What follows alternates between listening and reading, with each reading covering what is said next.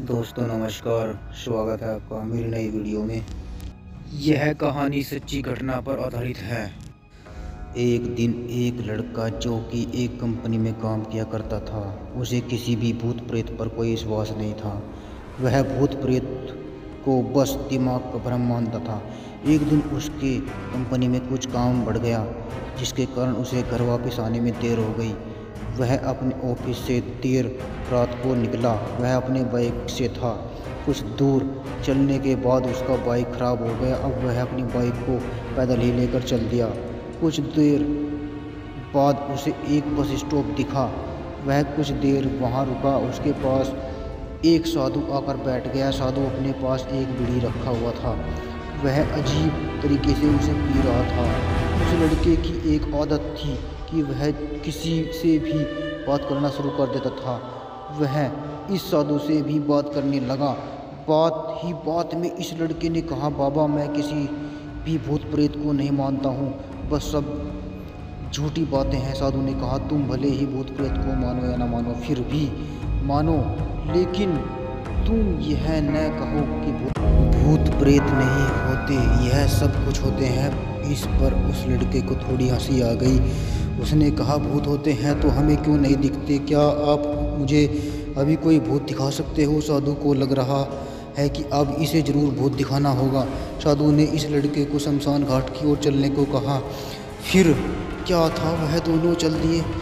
रास्ते में उस लड़के को थोड़ा डर लगने लगा। फिर भी वह अपने डर को कम करके आगे बढ़ता जा रहा था। कुछ देर के बाद वह शमशान कुछ देर शमशान घाट में अभी कुछ लाशें जल रही थी। साधु ने उसको एक ऐसे स्थान पर बैठाया जहाँ कुछ समय पहले की लाश जली थी। साधु ने ज़मीन में एक लोहे का कील गाड़ दिया। उसमें एक धागा बाँध दिया। इस धागे को अंतिम डोर से उस लड़के को पकड़ने को कहा। अब उस लड़के को हद से ज़्यादा डर लगने लगा था, उसकी सांस तेज हो रही थी। इसके साथ ही साथ उसके हाथ पैर भी काँप रहे थे। फिर भी उसने धागे को साधु ने कुछ बतासा को चार जगह पर बाँध दिया, रख दिया। सारे बतासे उस धागे के पास ही एक लाइन में रखे हुए थे। उसके बाद साधु ने लड़के को सावधान किया।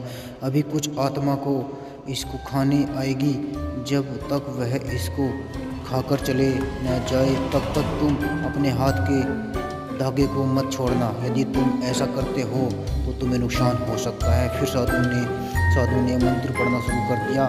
कुछ मंत्र पढ़ने के बाद साधु ने उस लड़के को आँख बंद करने को कहा। फिर कुछ देर बाद ही आँख खोलने को कहा। जब उस लड़के ने आँख खोला, तब वह जो देख रहा था, उसे, उसके ऊपर विश्वास नहीं हो रहा था।